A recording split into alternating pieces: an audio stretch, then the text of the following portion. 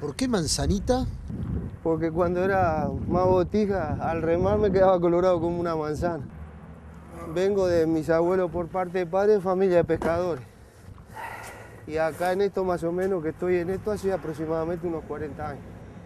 Aprendí más o menos por las mías, porque mi abuelo cuando yo estaba, que él tenía barca en la aduana, este, yo era muy chico, no salía, pero después vine acá a Punta Carreta y había un español que tenía una chalana y yo en ese momento estaba eh, sin trabajo y bueno, y ahí empezó la cosa.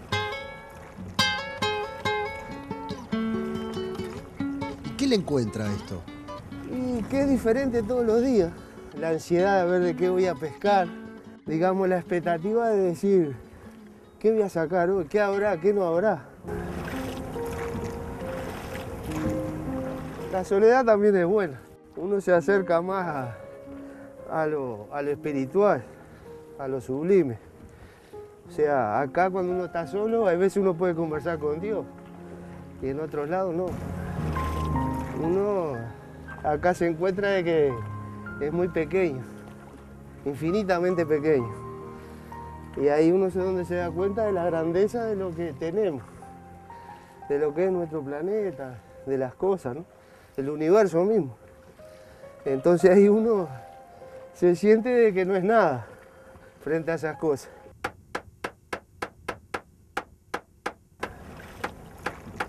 ¿Cuán larga es la red? Esta tiene 200 metros.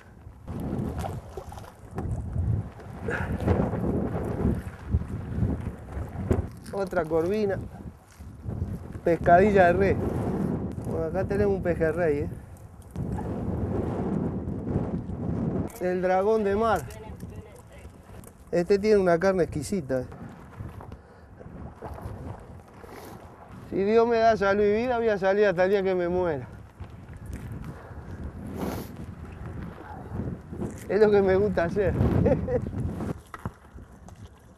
La pesca en los últimos años me ha armado mucho, yo calculo la mitad o menos. Yo cuando recién empecé acá, la corvina blanca, eh, las primeras que venía agarrábamos corvina de 7, 8 kilos de la blanca. No de la negra, de la corvina blanca. Y ahora mire el tamaño. Tuve dos chalanas que me las rompí un temporal. Esta fue la última que hicimos, esta tiene 20 años. Mi señora a veces me cacha, porque yo le digo, tengo dos mimosas, le digo. Una sos vos y otra en la embarcación. Sí, ya sé, dice. Salí, la mirás, dice. ¿Qué va a hacer? Y es la herramienta de uno, es la que uno le da de comer todos los días.